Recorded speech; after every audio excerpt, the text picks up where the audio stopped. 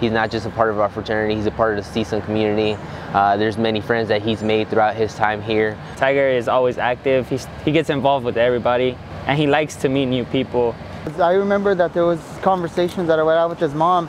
You know, she always had this image of Tiger. We surrounded by individuals that shared a bond with him. Yeah. You know, yeah. you know, she always asked me if I was going to be around, if I was ever going to disappear completely.